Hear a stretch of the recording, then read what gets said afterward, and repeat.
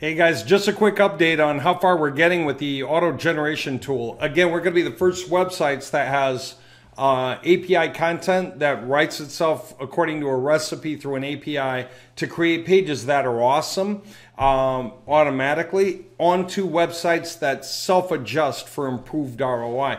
So we've been building this up. It's hard work, it's a lot of effort. But I just want to point out how far we got with this stuff, okay? So we can generate content with commands. We can generate page content. One thing we did with the page content is when you want to go in and edit, say you didn't beat the Surfer SEO score, you can put in manual subtitles of your own based on and keywords based on what you need to do to, to finish new contents that will therefore uh, win the score on Surfer uh, for the audits, right? And you can select your tone and your actions either override or append. It would usually be append. Give it some word count, hit next, and it'll generate those new sections for you onto the page, which of course then you can move around with the inline editor. So back to the articles. What do I want to say? Is that I have never seen it be so easy to create pages that not only um, fill in the contents you want because you chose the subtopics it's supposed to write about, all the sections, but then you can also add a few more with their own keywords to finish an audit that you ran. And the whole thing's done in, in I don't care, 15 minutes per totally finished top ranking web page. In other words, the quality of the web page is such that it can rank. So for us doing the accident attorneys, for us doing the real estate projects, for us doing the roof max projects and anything else, the the quality is just insurmountable. The fact that we can create variations for so many websites means we can outdo everyone organically. And we know, at least with the uh, accident attorneys, four different ways to earn from everyone who hits that website. So it's very hard not to earn from any one visitor. That's the coolest thing in the world. So after creating it, we can we can view it. We can edit like um this addiction treatment one. Uh, I mean, I looked at this and I built this thing and I thought it was pretty cool. And I organized the order of the sections, how they came out on the page, how the page closed with this whole get addiction help for your loved one today. Uh, all of this. I got this whole darn thing done in minutes. It was just minutes. And then when I ran it through an audit, it was almost in the green.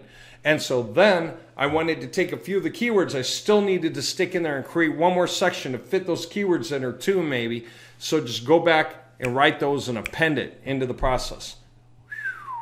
Nuts. So anyway, now I can merge that. Here's the next thing. Once you get it done, you can create duplicates. How many variations do you want between 1 and 25 at a time?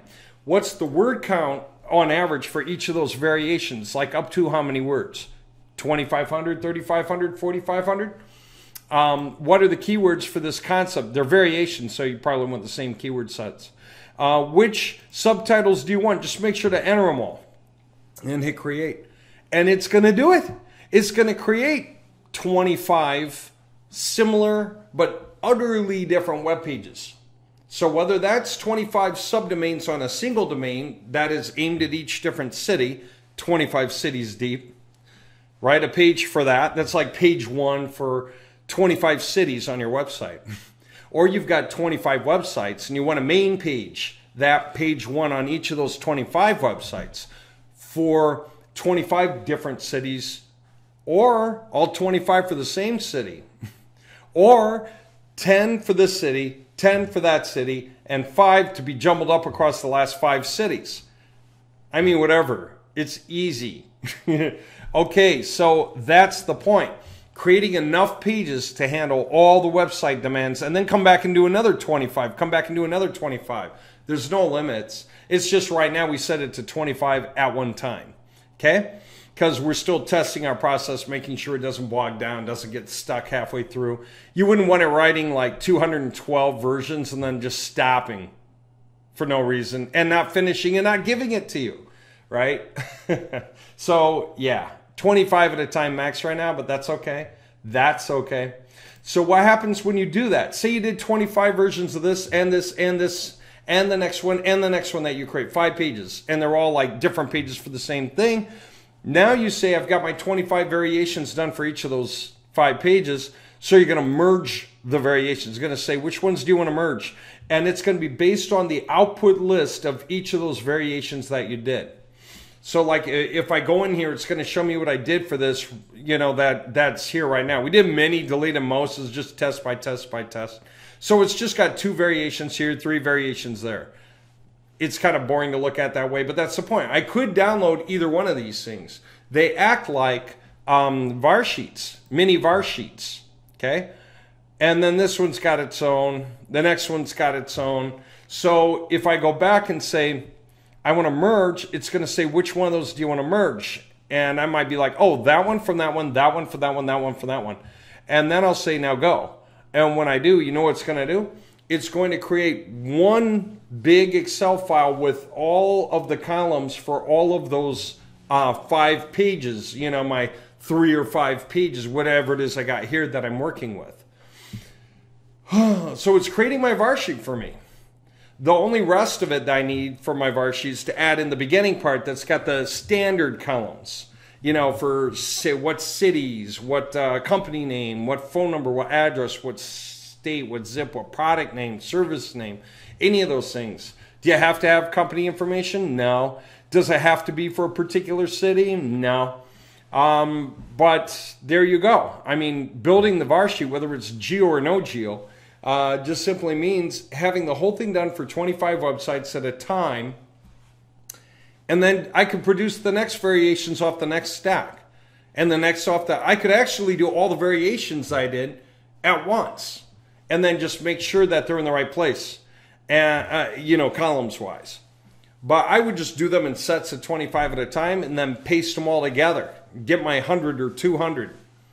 And then just run it. Whole thing done in no time at all. Pretty soon, but when you merge the variations and produce the outputs, since it's all saved inside the system, you can hit generate pages and it will just create all those pages on your website. And we're going to have simple rules like for the parent page and the page title and the meta description because it's based on those contents from those pages. How's that for cool? So, yeah, won't be long. A handful more days of programming, a few more days of programming. Sometime next week, sometime next week, we're going to be able to release this. and that will make us the first websites ever that allow us to mass page generate AI driven content based on recipes that have been tried and proven inside of audits, where the output pages uh, monitor themselves and make adjustments for the highest ROI and tell you who the most active engagers are on the web pages by name, address, city, state, zip, email, phone. Uh, whether they're married, what their age range is, their education level, their their uh, net worth, their household income. I mean, you're going to have all of that in your user tracking information, but the point of it is so that these guys, the ones who are engaged, the ones you care to talk to, because you hope they're responsive, you want them to be, whatever your level of, of decided engagement, they can be added in your newsletter and your newsletter can drip on them to come back to your website for all these different reasons. And that does apply to our accident attorney websites. If people come but they're too tentative to call right now, they're still researching, we can have them added, depending on their engagement level, into a newsletter that reaches back out and reminds them that if they're hurting, yes, we can help. Our legal offices, our law offices are the ones that they should turn to in the event of blah, blah, blah. Come back to the website, give us a call today. And that way, there's the link, and they can click it, and come to the website, and they can call, or if they don't qualify, they can click the banner link. And if they don't do that, they can chat on the live chat box. Right?